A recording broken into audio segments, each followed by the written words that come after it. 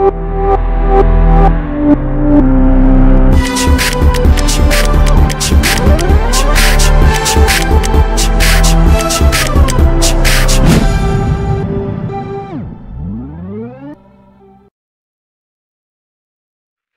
الرحمن الرحيم والصلاة والسلام على أشرف الأنبياء والمرسلين سيدنا ونبينا محمد وعلى آله وصحبه أجمعين. سوف نتحدث اليوم عن درس الحرب العالمية الأولى وسوف نتفصل في أسبابها وأهم أحداثها. وذكرنا في الدرس السابق وتكلمنا عن الأقليات الإسلامية.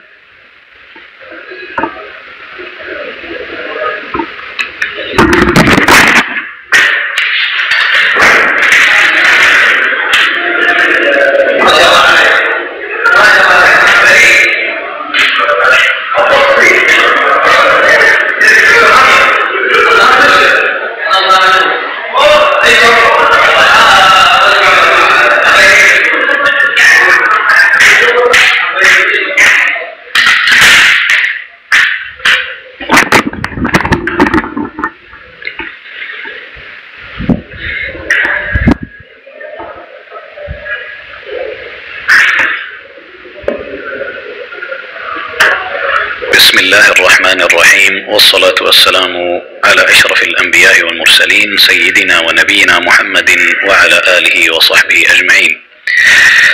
تحدثنا في الدرس السابق عن الأقليات الإسلامية في دولة بريطانيا ودولة فرنسا، وسوف نتحدث اليوم عن الحرب العالمية الأولى، وسوف نتعمق في أسبابها وأهم أحداثها. نبدأ في الوضع السياسي في العالم قبيل الحرب العالمية الأولى. مكن التطور التقني وامتلاك الأسلحة المتطورة بعض دول العالم من فرض سيطرتها على دول أخرى. الأمر الذي ساعد على نشأة الخلافات السياسية والعسكرية بين دول ذات سيادة وسيطرة.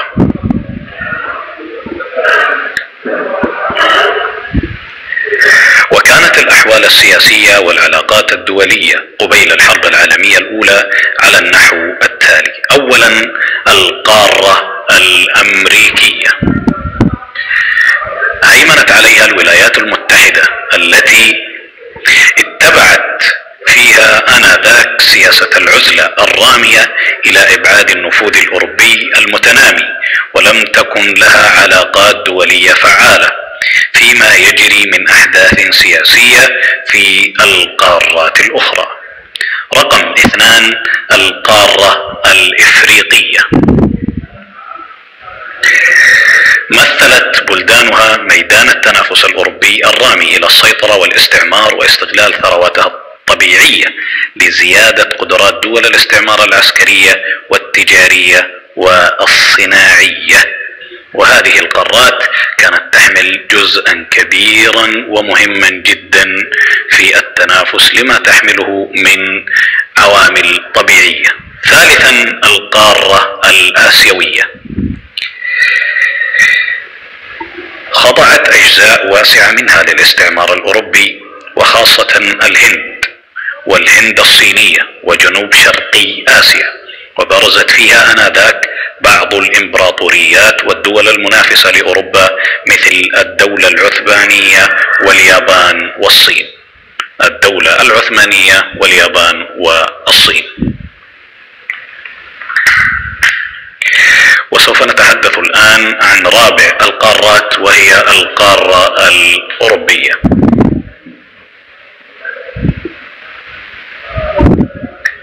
كانت اوروبا محور العلاقات الدولية آنذاك فقد شهدت نهضة نهضة صناعية متطورة وملكت موارد وإمكانات اقتصادية متنامية نتيجة انتهاج بلدانها سياسة الاستعمار. وقد تمكنت معظم دولها من بسط نفوذها الاستعماري على مختلف القارات وبرزت فيها إمبراطوريات قوية ذات مصالح متباينة. وطرأت على القارة الأوروبية تغييرات سياسية مهمة. تمثلت في ظهور دول جديدة في البلقان نتيجة انحسار السيطرة العثمانية فيها. كما شهدت تحالفات متعددة تهدف إلى النفوذ والسيطرة. وقد كانت أوروبا المسرح الرئيس لأحداث الحرب العالمية الأولى.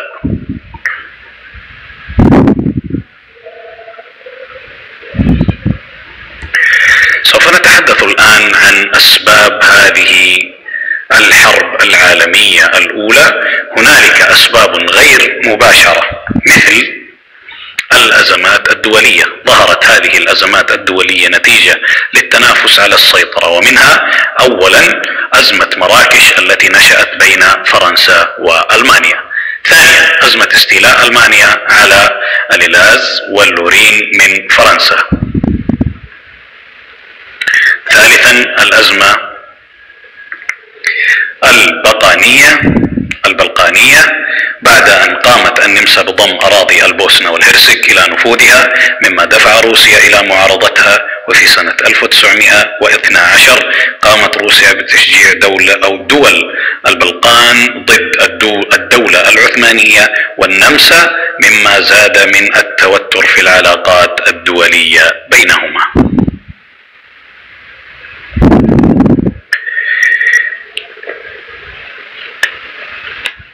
أما عن النوع الثاني بعد الأزمات الدولية هو سباق التسلح.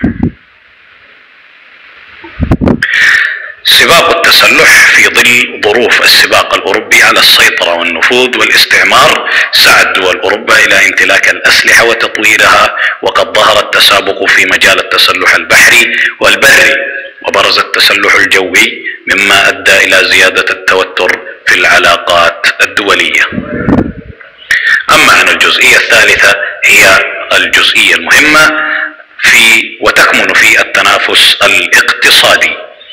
أدت الثورة الصناعية إلى تقدم دول أوروبا اقتصاديا فسعت إلى البحث عن الأسواق لتصريف منتجاتها والسيطرة على الموارد الطبيعية لتزويد مصانعها بالمواد الخام اللازمة للصناعة مما دفعها إلى السباق في مجال الاستعمار ومهد لتضارب المصالح الاقتصادية وتصادمها حتى صار النزاع العسكري أمرا وشيك الحدوث. رابعا قيام التحالفات الدولية. قام التحالف قامت تحالفات دولية بهدف تعزيز القوة وحماية المصالح المشتركة مثل تحالف عصبة الأباطرة وتحالف دول الوسط وتحالف الوفاق الثلاثي مما زاد من التوترات في العلاقات الدولية بين دول أوروبا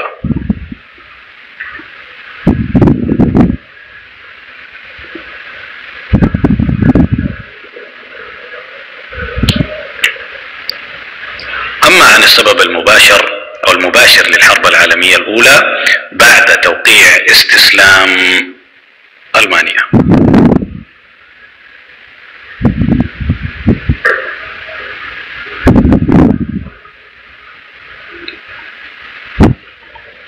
في يوليو 28 1914 اغتال طالب صربي ولي عهد النمسا آنذاك وزوجته في أثناء زيارت زيارتهما عاصمة منطقة البوسنة والهرسك التي ضمتها النمسا إلى سيطرتها في عام 1908 تعبيرا عن اعتراضه على ضم الإقليم للنمسا فأعلنت النمسا الحرب على صربيا فأعلنت روسيا الحرب على النمسا فدخلت ألمانيا الحرب ضد روسيا وصربيا. بينما أعلنت فرنسا حربها على ألمانيا والنمسا وسارعت بريطانيا بإعلان الحرب على دولتي الوسط اللتين انضمت إليهما الدولة العثمانية كما أن الصين واليابان دخلتا الحرب مع دول الوفاق وخرجت إيطاليا من حيادها لتدخل الحروب.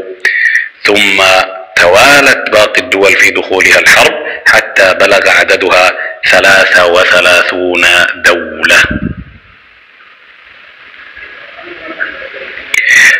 فأضفى على الحرب صفة العالمية وانتهت الحرب بهزيمة ألمانيا وحلفائها في معركة المام الثانية 1918 ميلادي وفي آخر العام أعلن رسميا عن انتهاء الحرب العالمية الأولى بعد توقيع استسلام ألمانيا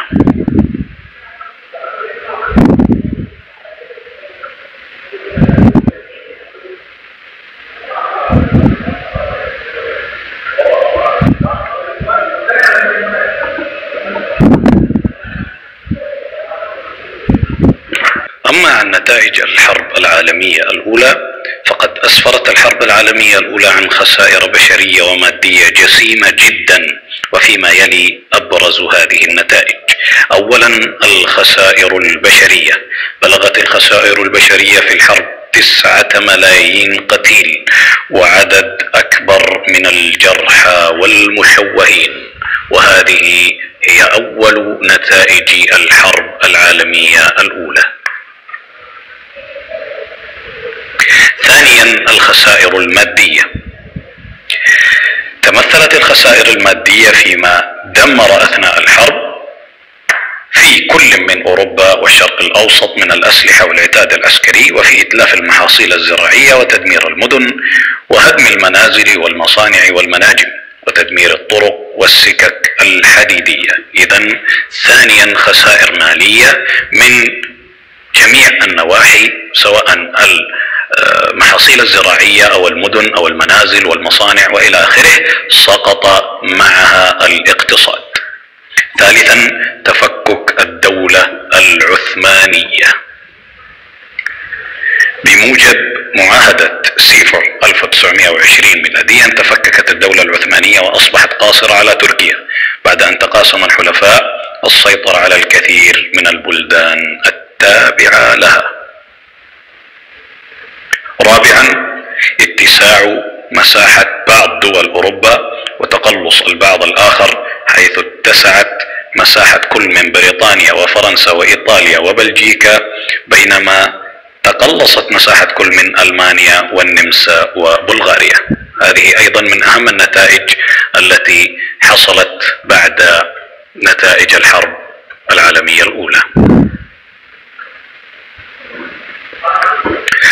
خامسا إنشاء بعض المنظمات الدولية ومن أهمها عصبة الأمم التي أقر ميثاقها في عام 1919 سادسا وقوع الكثير من بلدان العالم العربي تحت الانتداب.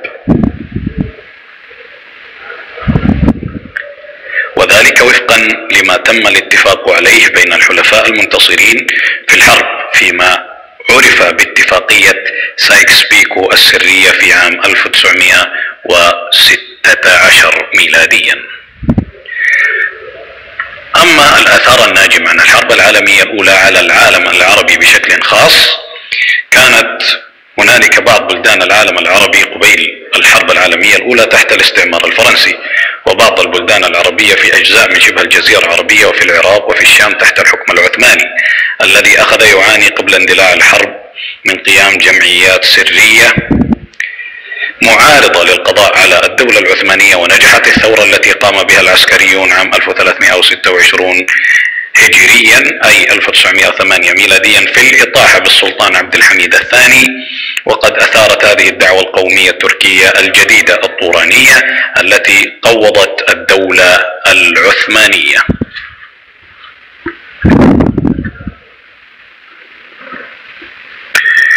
وانتهجت سياسة تتريك حفيظة العرب. فاستغل بعضهم في بلاد الشام هذا الحدث فأسسوا جمعيات قومية عربية تنادي باستقلال بالاستقلال عن تركيا الجديدة وتحققت بذلك آمال المستعمرين. وحينما اندلعت الحرب العالمية الأولى التحمت دول الوسط ضد جبهة التحالف الإنجليزي الفرنسي مما جعل الاتحاديين الأتراك يستجيبون للمطالب الألمانية بالدخول معهم في الحرب مما أدى إلى تعرض بلدان المشرق العربي للاستعمار الإنجليزي والفرنسي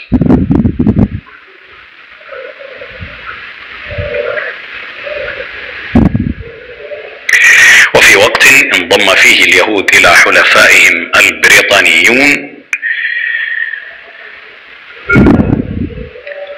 بعد أن قدموا لهم الإمكانيات المادية والعلمية مقابل تأسيس وطن قومي لهم في فلسطين وبتشجيع من بريطانيا قرر الشريف حسين إعلان الثورة العربية في عام 1334 هجريا ضد الحكم التركي وترتب عليه الوقوف وقوف الثورة العربية بجانب قوات الحلفاء في الحرب العالمية ضرب بعض مواقع الاستراتيجية وتحطيم السكة الحديدية في الحجاز وكان أمل الشريف حسين في وفاء بريطانيا بوعدها له بتنصيبه ملكا على العرب لكن بريطانيا نكثت بعهدها معه وعقدت المعاهدة السرية الشهيرة مع فرنسا وروسيا سايكس بيكو بتقسيم بلدان المشرق العربي لنفوذهم بعد الحرب.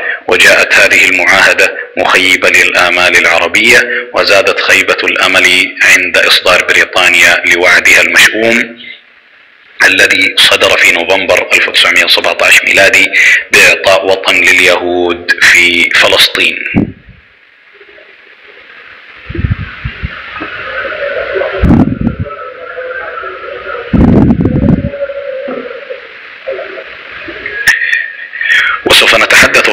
موقف المملكة العربية السعودية من الحرب العالمية الأولى.